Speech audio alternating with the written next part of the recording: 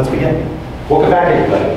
Um, we're going to pick up where we were last time, and we're just in the middle of this conversation about order statistics. So last time we did probably the thing everybody can figure out intuitively, where you've seen this example, it's easy to remember, but the max order statistic finding its distribution is just taking the original IID distribution and powering it up, up to n, where n is the number of samples. So, and that's the order statistic that we're looking for.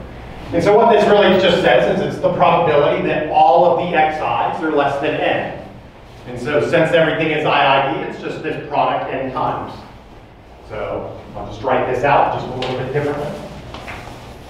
It's just i goes from 1 to n, the probability that each xi is less than or equal to x. So that's all we're writing down. We'll replace the notation, probability of xi being less than x, with that creature right there, the cumulative distribution. So, and it just says all of the xi's are less than x, so that means that the max order statistic is less than x. Um, a common question I'll ask on a midterm is what's the probability that the minimum is less than x. And it's an equally easy calculation to do if you remember to take complements. So you have to take complements, flip the sign of everything so that you can say all of the xi's are bigger than something. So when you're saying something's bigger than something, it's not the cumulative, it's the complement of the cumulative. You'd product that up n times, and it would say all of the xi's are bigger than something. So 1 minus fx powered up to the n. And now we want to put that on a probability scale. We want to reverse the sign so that you need to complement again. So all I'm saying is this. 1 minus f of x to the n, 1 minus that thing. That's the cumulative probability of the minimum order statistic. So this right here is the probability that all of the xi's are bigger than x, all of them. But now I want to reverse the sign. And so I take the 1 minus thing. I tell people up on that question all the time. It lets me know that you don't, you didn't pick up on one of the five ways I've taught you to compute this. So I'm going to show you more general formulas that always work. And we'll get to at least one of them today. So in general, what we want to answer is what's the probability distribution for the jth order statistic. So this is the jth largest. And we probably want to know what's the accompanying density function for the jth largest. And so we want to know these two things. So that's what we're going to be building up to. Um, when we come back on next Friday, I'll be here Friday. We'll talk about the joint distribution of two order statistics and the joint distribution of many order statistics. Next time on Monday and Tuesday, Jaeyoung's going to teach.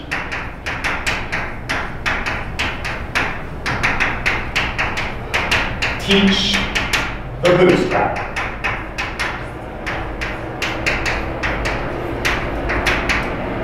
20 years ago, this might have seemed sophisticated, and now I think they teach it to freshmen. I'm not sure that that's true, so might be an exaggeration. If you don't know what it is, Jaeyoung will give you a really good lecture on it. He'll motivate what we want to do in statistics. If we could do anything, we'd go back out into the population and resample all the time from the population. Uh, of course, if I told scientists to do that, like let's say I wanted to understand um, maybe this question, probability that x5 is less than 1. And maybe this represents some scientific process that scientists are going out and sampling from. So they go out and they sample six data points from here. And then they want to know what's the distribution of this thing right here, which this is the fifth biggest thing in the set. And I'm like, well, I can tell you what the fifth biggest thing is. So I read them the number back and they say, well, I want to know the distribution. How much does it vary?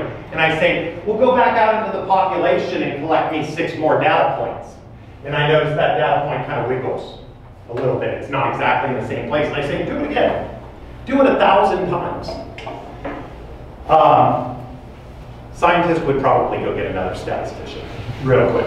But what we want to do is effectively mimic that thing. The bootstrap says, instead of doing that, take your original data set and just resample from it over and over again. It's not exactly the same process, but if your original data set is representative of the distribution, resampling from a sample is a sample. And so it doesn't give you a better point estimator, it gives you an understanding of the variability of your point estimator. It's just resampling over and over again. If you don't understand that, Jaeyoung will explain it to you with a number of different examples on Monday and Tuesday. He's going to show you it in the context of some strange distribution called an additive mixture model. So you can basically form any distribution out of mixture models. So he's going to also introduce you to what an additive mixture model is, and we'll be using that in this class as well. The book doesn't focus a lot on mixture models, but that's one of my added bonuses to you. I'll give you a modeler's tool and how to do inference off of, you know, arbitrarily complex distributions. We'll talk about that later on, but J.O. will introduce you to it. If you want backup videos for this on 126, and this is 2022, and 128, 2022, these are the accompanying videos from last year. So if you want to check out those. So those are on my YouTube page. You can go back and see um, my version of the same lecture. So the code that Jaeyoung's going to use to simulate is the same code that I used last year. And um, that's also the same code that's online. There's a few places you have to uncomment things to make it work. So there's just two places where you kind of change the code. And Jaeyoung will show you where that is. Um, so probably I would say intellectually, not a really challenging thing to understand the bootstrap. But I think as a, a practitioner's tool, it's a very useful thing. So I used to hate it because it was so simple. I thought that it was trying to mimic something Bayesian to me, and in some sense it is. And I used to think it's a cheap excuse for a posterior distribution, if you're doing like the parametric version of the bootstrap. And then I started thinking that's not actually a negative thing. To have something that's effective, kind of does everything, um, but it's easier to implement. In the IID case, you can use this stuff, and I usually tell scientists if I don't have time to work with them, go do the bootstrap first. So I think it is actually um, cheap in terms of startup costs, you know, in terms of doing an analysis. So I kind of like the bootstrap. I also like because it effectively teaches us what we would do if we were scientists and going back out and collecting data, so it kind of gives you a repetitive process that you can think about what you're trying to do. Okay, um, I think that's all I want to say about that. So Monday, Tuesday, JM will be here, and then I'll come back on Friday. And I'll say a few recap comments on this. We can talk about it if you want. If there's something that's confusing, we can spend a little bit of time on it. And then we'll just jump back into order stats. Uh, I will say that these lectures right here, it's the 27th right now, so you might think that we're falling behind, but last year we started up on the 11th, so we're actually ahead. So a little bit faster. Okay, let's come back to this problem. So I'm just going to, instead of talk about the J order statistic, let's just conceptualize an easy problem and we can work through some of the arithmetic on all of this. And then we'll generalize everything that we wrote down. So I'm just going to think about this density function. It looks like this. And I'm going to collect six data points from it. And I'm going to talk about the distribution of the fifth order statistic. And the only reason I picked these numbers is because I can work through the calculus relatively easily. So question is, is what is that thing? And I can mimic exactly this process on a computer and do this simulation. So I like to think about this as a process, and then we'll do some math that mimics the process and I don't actually have to repeatedly sample from the population over and over again. That's effectively what statisticians are modeling is what would happen if you did it again. What would happen on the next time. How are things distributed, and I think that's really important. I will mention on the bootstrap, it's not exactly the Bayesian analysis. If you do parametric bootstrap, if you know what it is, the intervals that you get are too tight. They're too small. And so I don't like that. I, I always like it if my intervals are a little bit wider because I like to express my uncertainty and I don't like to say I'm overly sure. But I've noticed when I work with people, they like the smaller intervals. you know, so they like to be fooled. It's a, it's a human condition. Okay. I coded this up.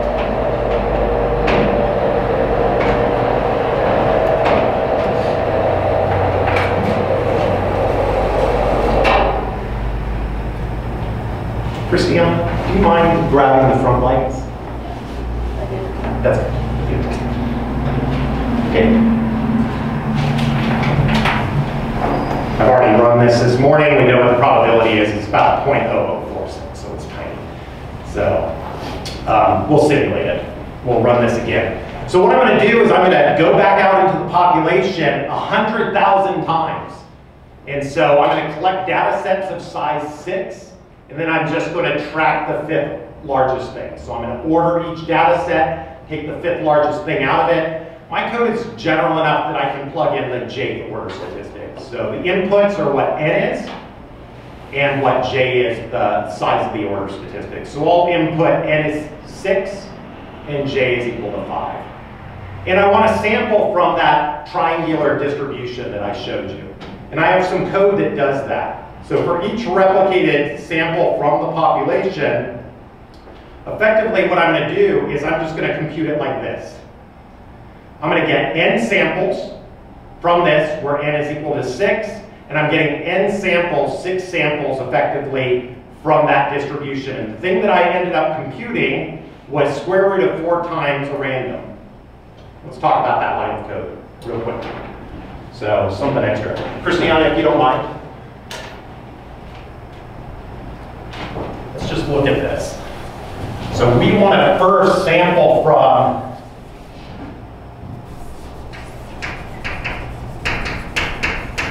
And we want to do this six times, but if I can do it once, I can repeat it six times. And so that one line of code is repeating something six times for us. Um, I want to take an xi, and I want to take it from this distribution, this density function, 1 half x, right here. And what I've said is that if I end up computing a uniform, so I just take a uniform 0, 1, and most computers know how to do this. This used to be worth discussing.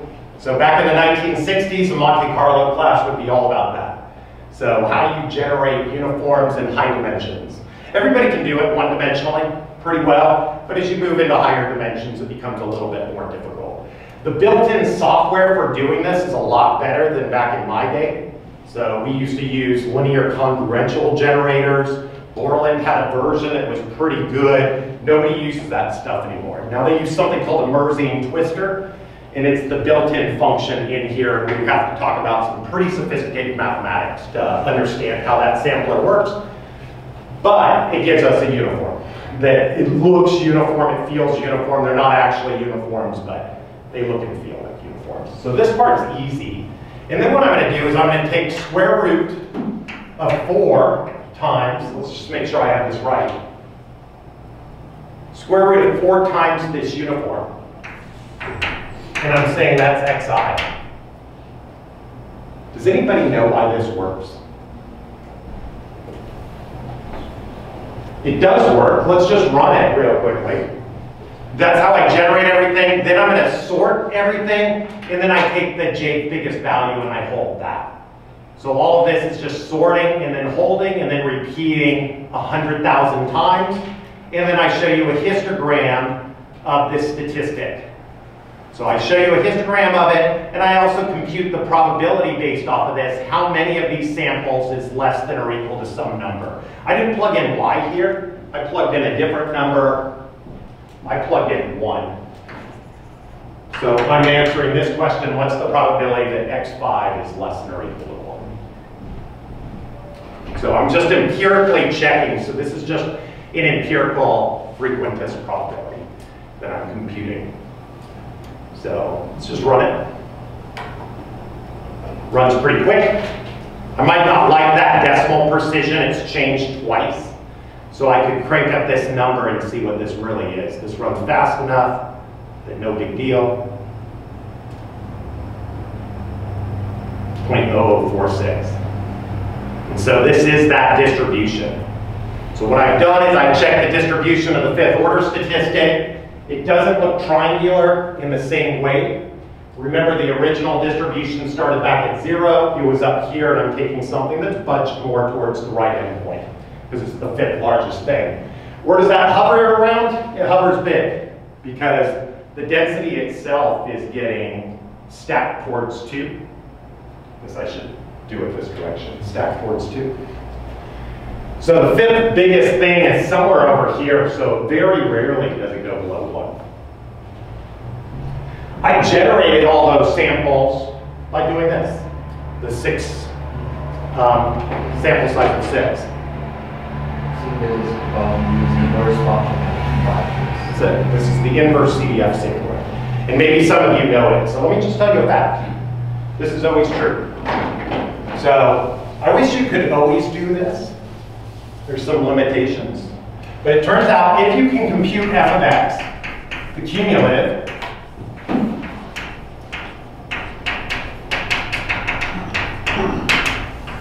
and that's just f of x dx from 0 to, I'll just say minus infinity for an arbitrary problem, off to whatever this thing is, x. If you don't like my notation, you can substitute.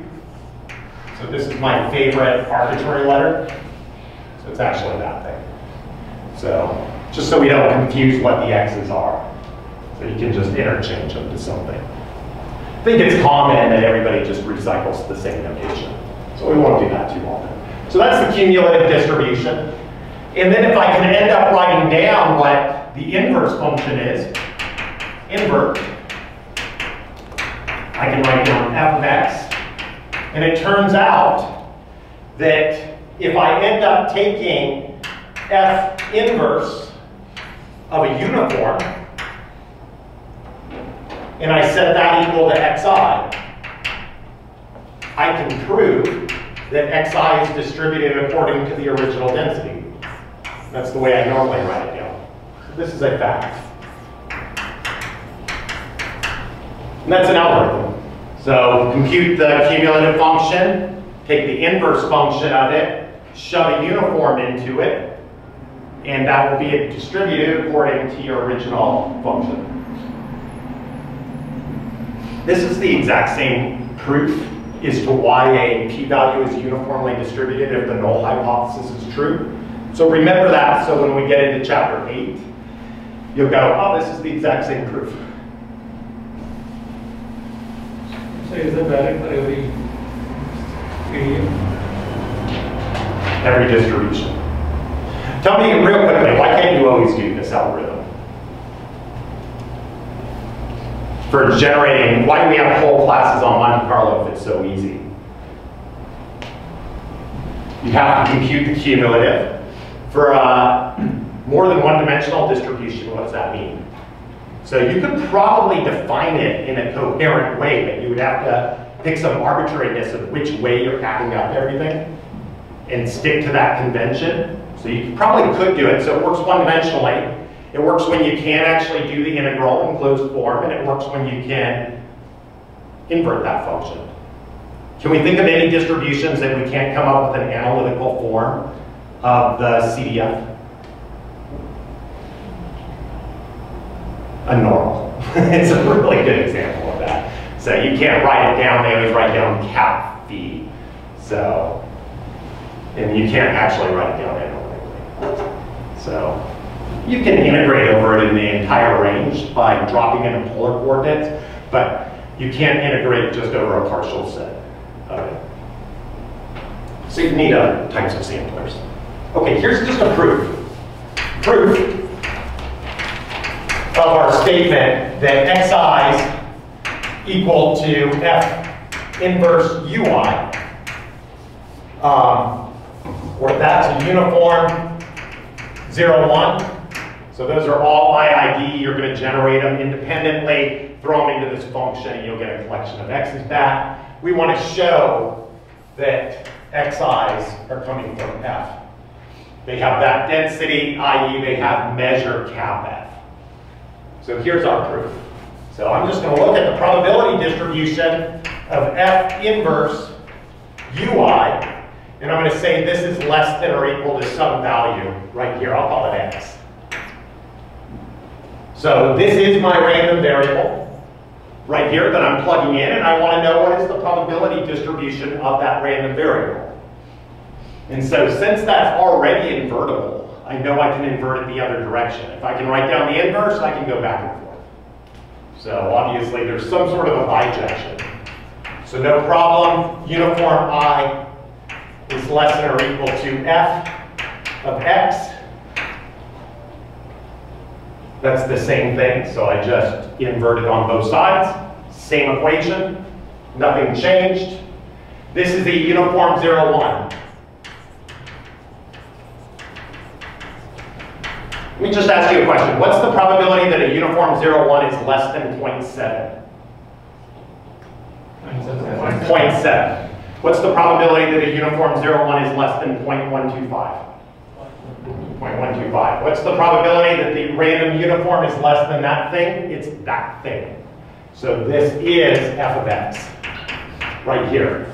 So the probability distribution of that thing, of f inverse u, is cap f. So they are distributed according to cap f. That is the measure. It has density little f. So that's your proof. So I did exactly that. I came up with a cumulative function right here. So if we erase this.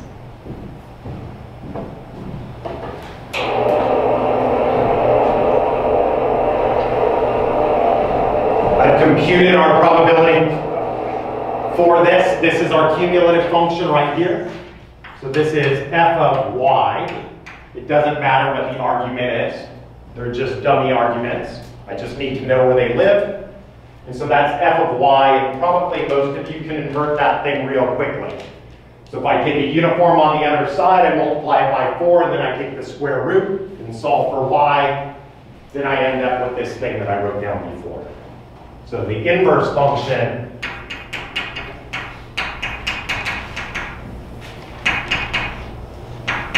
f of y is equal to square root of 4y. This would be f inverse y right here. And instead of plugging y into it, I take my argument and I plug u into it by random uniform. I love this algorithm. I wish you could always do it, it's fast. For one uniform, I'm able to give you one random variable from some other distribution. I will point out, all random generators are transforming uniforms. Metropolis Hastings is doing that, importance sampling is doing that. Everything is some transformation of a uniform. So, just in some weird way. Okay, let's look at this again.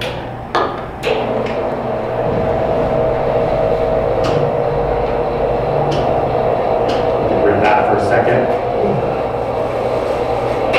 I've made this really too big, but I want some stability in my decimal places since it's a tiny probability. I'll point out doing something like this, you're effectively doing, when I end up just checking to see how many of these things are less than one, right here, I'm effectively doing accept reject sampling.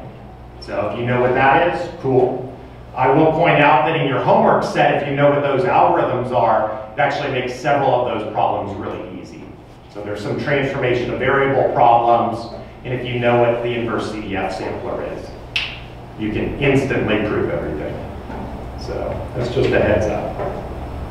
Um, these sort of samplers are a little bit tricky to work with because if the probability is small, then the error is large. So I have to crank up the number of samples considerably high to compute things with small probabilities. So um, so this probably isn't ideal, but um, it still works for our purposes. Okay, so that's how the code works. I generate out of this inverse function. I'm just plugging in rand 1n right there. So it's taking this and it's doing it six times for me. It's multi-threading it. It's actually vectorizing the whole thing, so if you know about parallelization on your computer or how the threaders work, that's what this is doing. So it does a lot of magic in the background. So um, pretty pretty, pretty simple code. Let's just run it one more time. And uh, that's too bad. I think it's actually like 0.0046, but we're in the ballpark. This is an approximation. Question is, is could we solve for this analytically and not do the simulation? And that's what we might want to do. So in this case, yes, the answer is definitely you can do this. So let's see how to compute this probability analytically. I'm going to kind of describe what they have in the book and just follow this example and then we'll come and make it more general.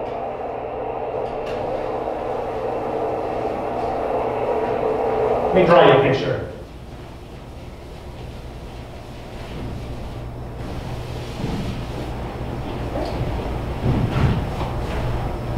So I know this already. I know what the probability of xi is less than or equal to 1. So this is my argument for y, or x. I've kind of said both things. So I plug in an argument for that. I know what this is. This is going to be this thing integrated between 0 and 1. So this is just going to be 1 fourth y squared between 0 and 1. And so that's 1 fourth. So I know what that probability is. Um, that's the probability that each of the xi's is less than 1. What I need for this to happen, for this thing to happen, if I were actually thinking about this as a repeated event, there's two possibilities for this. Either the fifth thing is less than 1, or the sixth thing is less than 1. So those are the two possibilities that contribute to this probability that the fifth largest thing is less than 1. So let me just draw that as a picture. There's two scenarios.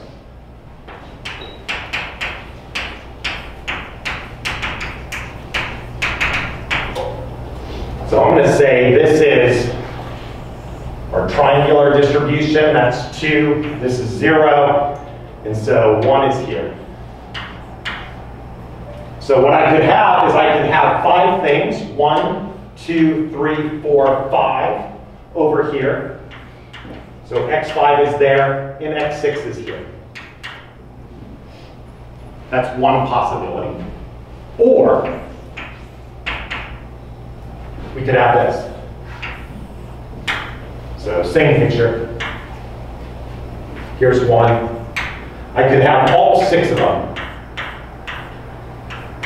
less than 1. So this is x6. If the fourth thing was over here, then x5 is not less than 1. So I'm just thinking about the number of discrete possibilities for this, for x5 to be less than 1. So in each iteration of my for loop, it was checking for examples that look like this. If one of those two examples happened, then x5 was less than 1, and that would contribute to um, some positive probability. So this is scenario one.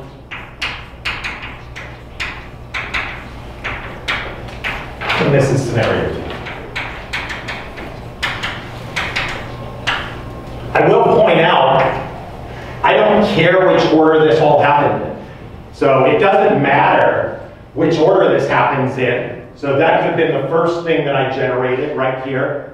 This could be the second thing that I've generated. That could be the third thing that I've generated. And there's lots of different ways that you could have arrived at this possibility in terms of the sequence of the original random numbers. Excuse me? Uh, This was. Could you explain why these two scenarios are, are different or are important? Let me show you another scenario. Let me show you a third scenario that does not contribute to this being true. So here's uh, another scenario where I've got one here, and I've got one, two, three, four, and then I have this thing, x5 right here, and x6. So the fourth order statistic is less than one, but the fifth one is not less than one. So that is not making that statement true right here. There's only two possibilities in which the fifth thing could be less than one. So if I looked over the enumeration of those 100,000 samples, the ones where that condition was true were either x5 was less than 1 or x6 was less than 1. If all of a sudden x5 wasn't less than 1, then that didn't contribute to the positiveness of that probability. Well, what about X seven, X eight? There's no x7. Um, I see, I see. Thank you. So that's why. So no 7, I pre-specified n was 6. Yeah, that's a good question. Thank you. Okay, so let me define a random variable for you. So I'm taking this continuous problem and I'm turning it into something discrete. So I've got these discrete possibilities and I'm going to compute the probability on this thing right here and not think about the original continuous, continuousness of the random variable, but instead I've decomposed this into a discrete probability problem. So let's just define a new random variable. z is equal to the number of xi's that are less than 1. So in general, we would let that be the dummy argument, but I'm just plugging in some number for it. So the book ended up plugging in some dummy argument right there. I'm just contextualizing this. And so I can decompose this problem, the probability that x5 is less than or equal to 1, into this problem. The probability that z is equal to 5, or the probability that z is equal to 6. So this is scenario 1. This thing. And this is scenario 2. And so all we need to do is figure out the number of ways that could have happened and the number of ways that could have happened. So this is a binomial probability calculation. So either it happened or it didn't happen, and I just need to enumerate the number of ways that it could happen. So the number of ways that z could be 5, I don't care how this happened. I could reorder this in 5 factorial different ways and it would still be exactly the same picture. So I don't care what the labels are on all of this. And so they're all labeled with x1, x2, x3, x4, x5. Somewhere could have been x6 in here. They're unique values in here. They're unique instances, I should say. I guess there could be a repeated value in there, but I would treat them uniquely because the problem is continuous and it never actually happened, but it doesn't matter. So I can rearrange this five factorial different ways, and I can rearrange that one factorial way. There's only one way to do that. And I can rearrange this six factorial ways. And no factorial ways over here. Zero factorial is one as well. And so this is just going to be 6 choose 5 times the probability that it happened. So that's going to be my cumulative probability, one-fourth to the 5, times the complementary probability, 1 minus 3 fourths to 1. Scenario 2 can happen in basically one way. Let me just write this down and then I'll get to it. Did I make a mistake? Yeah, it's Wow. Duh. yeah. We would have been able to notice that that was wrong. So that would be a minus two on a homework set. So easy to fix, obviously wrong. Don't do that on a midterm. So six choose six. To the six. Each one of those things is less than one with that probability. They're all independent of each other. We power it up to the sixth power, and I'll write this one in as what I meant to do last time. That's the complementary probability raised to the zeroth power. And so if we computed this, it would be approximately 0.0046. That number that we are simulating. I think the 4.6 is closer than the 4.7. So you can go back to your calculators, plug those numbers in and see if that's true. So that's how you actually do that. And that's one of the formulas in your book. So for the J order statistic, it's going to comprise a sum from J up to N. And it's the number of ways that you can pull things over to whatever that accumulated point is. We'll write that down on Friday. So, but that's the essence of where that formula is coming from. So it's a little bit hard to remember unless you're thinking about this picture and what it actually represents. So I never see formulas, I see concepts. And I don't understand the formula until I can actually see the concept, draw the thing, and implement it. Okay, let me just make this more general. More generally,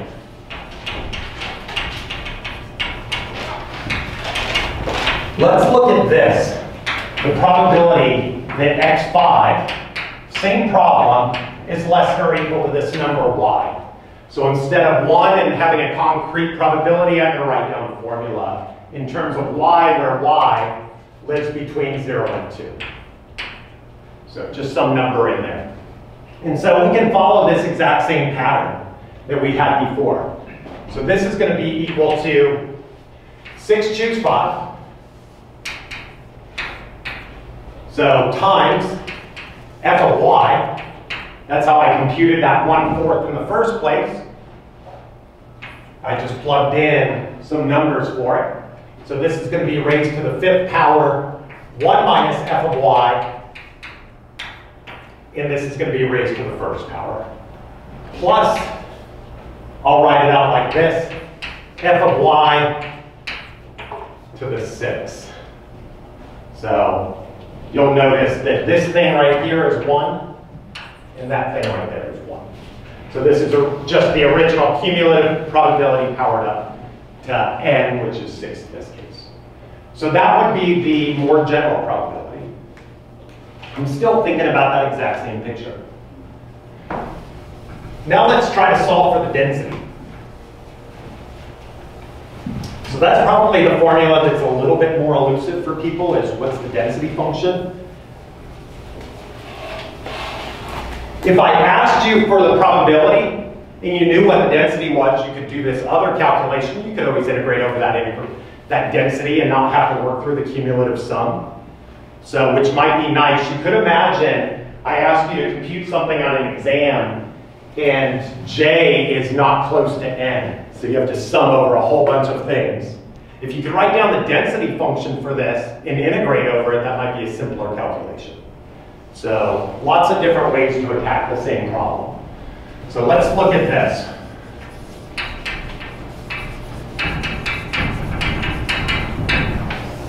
F, X, N. I'll write it out like that. I switched everything to an X again, so arbitrarily. And this thing right here is just going to be, so maybe I'll, I'll make it Y so I can stay consistent for a minute. So f of y, what is that thing? I'm just going to take a derivative with respect to y of whatever this thing is right here. Probability of x5 less than or equal to y. So I'll just take a derivative over this thing. So this is this.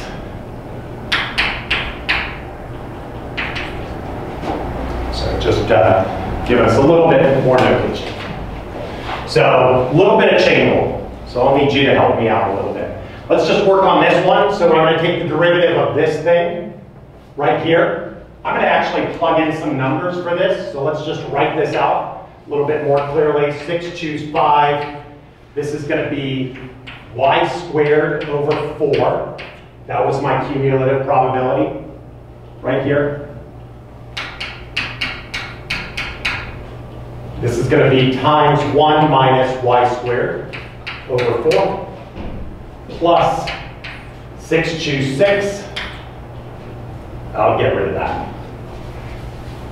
This is just going to be y squared over 4 raised to the 6th power. So I've got some product rule to do right here with a little bit of chain rule, and I've got some chain rule there. So let me first work on the derivative of this thing, and then I'll add it to the derivative of that. Uh, Did we lose a fifth power on the? Yes, we did. Totally. Thank you. Okay. So let's chisel away.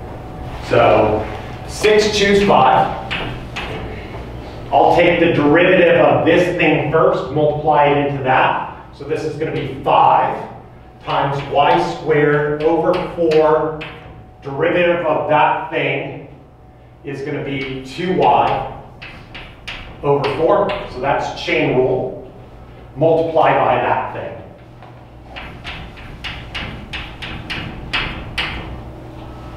Plus derivative of that thing times this stuff. We still haven't touched that yet. So this is going to be 6 choose 5. So y squared over 4 raised to the fifth. And then I'm going to have derivative of this thing directly. So this is going to be minus 2y over 4. Be careful with that minus sign. So it's there. I can probably pull it outside. But we'll keep in mind that it's there. Uh, you forgot to look for it. Um, 5 y squared over 4. Yes! Thank you. I'm so glad I'm not a calculus teacher. so I'm probably like most of you, it's like, don't explain it to me on the board, I'll just do it real quick. so yeah, keep your eyes on me because I'm liable to think I know what I said and wrote down and I'm wrong. Okay, now plus this one. So this is gonna be six times y squared over 4 to the fifth power times the chain rule. So this is going to be 2y over 4. I want you to see what happens right here. This number 6 choose 5, that's an easy binomial probability to compute. That's 6. So 6 factorial divided by 5 factorial is 6. Divided by 1 factorial is 1, so it's still 6. So I want you to see that this thing is that thing, and there's a minus sign right in front of it. This is not a coincidence. So if we worked with something like the fourth order statistic, we just have more terms, and everything would cancel each other except for one of the terms. That will happen every single time, and if you need to, if you need to convince yourself of that, just work through a couple problems and you'll see it. So this, these cancel each other. That always happens. You can kind of see it that you're going to be taking these derivatives of this one minus thing, the complementary probability. So you're going to have terms that are positive and terms that are negative. You can see that right away. You probably can't see that everything cancels, but it does. So that's why I picked five and not four, so I didn't have another four derivatives to mess up. This is your answer, right here. I want to show you a couple things.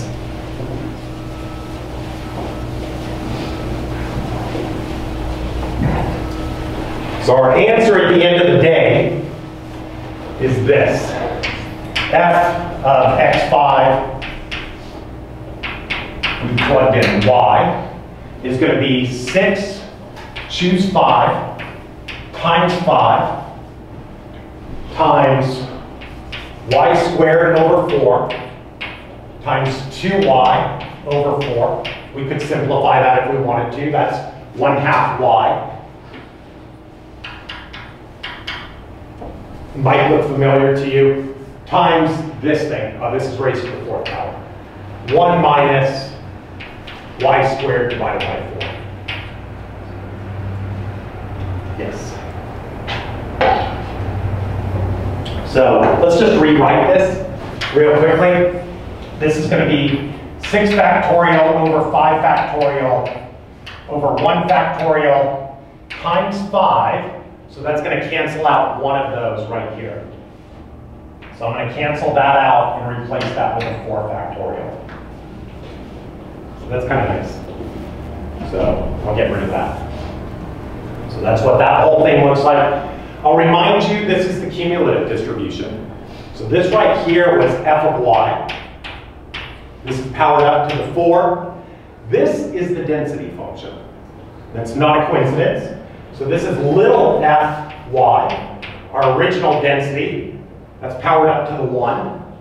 And this is my cumulative, my complementary probability. 1 minus fy, and that's powered up to the 1. Let me draw you a picture.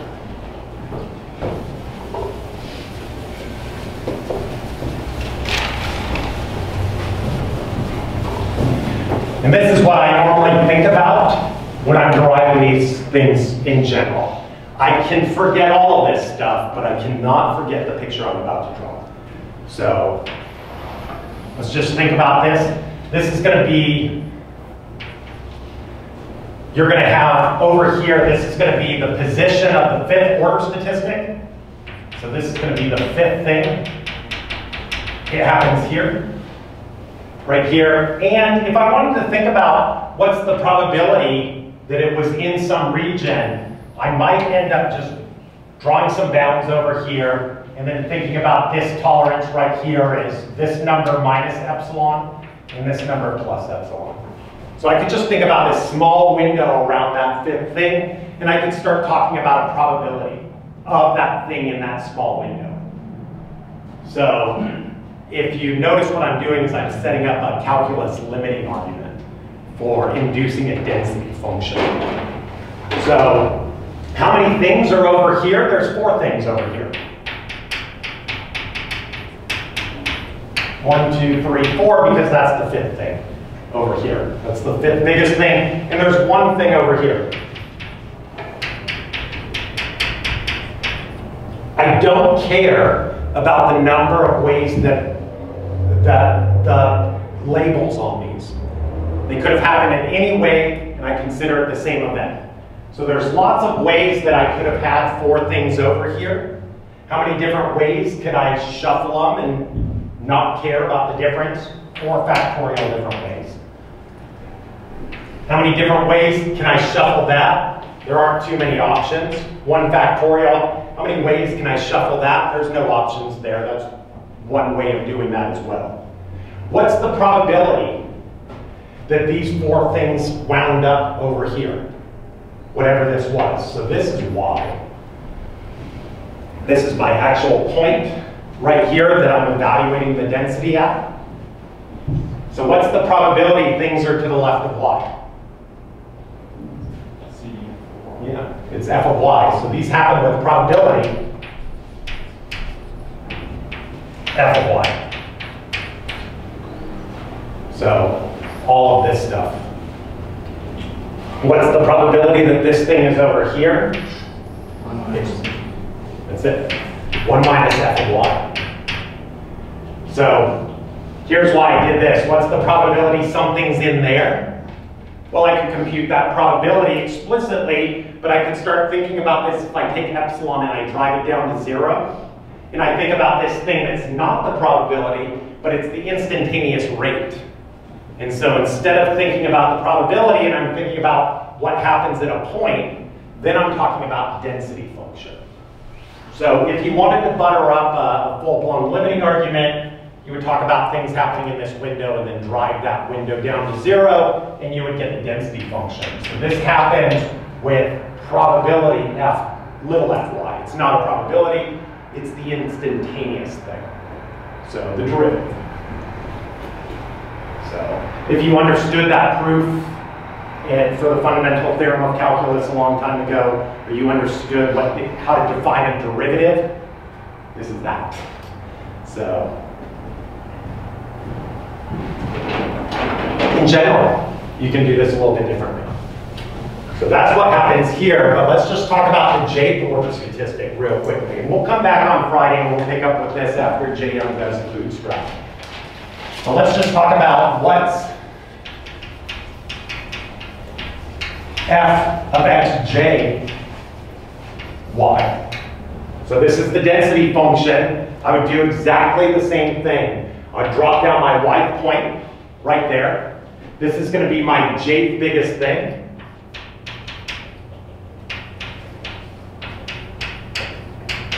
So that means that I have some number of things over here. How many are there? j minus 1. j minus 1 things. They all happen with cumulative probability f of y. How many different ways can I rearrange these j minus 1 things? j minus 1 factorial, different permutations of that. How many things are over here? N minus j. This will be the hardest question we do with the joint order statistics. I'm going to draw you a similar picture, and at 9 o'clock in the morning, we'll be like, how many things are in that little window? So see if you can figure that out. That seems to be the thing that most people stumble around with, and they, they're off by counting by one, and they're usually off by counting by that thing. So that's the minus one right there that we removed. So this is going to be n minus j things, and it, they all happen with probability this, the cumulative. So if I write all that down and I come up with this associated probability, I'm going to write it down right here. This thing is going to be, how many different ways can I permute everything n factorial? I'm going to take out the orderings that I don't care about. They're these. j minus 1 factorial, n minus j factorial, times f of y. How many things? j minus 1.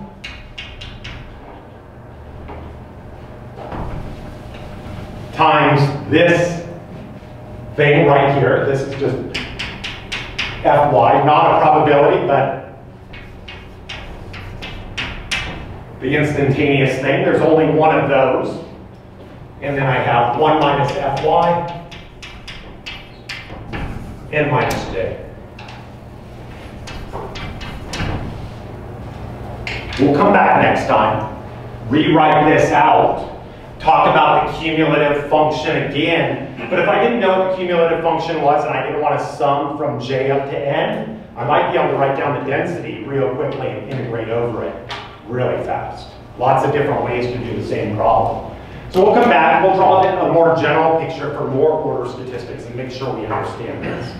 But ultimately, that's everything your book is saying, just with a picture. Have a good weekend, you guys. Hopefully you enjoy Monday and Wednesday. Let me know how that goes on Friday when I come back, and I'll see you on Friday.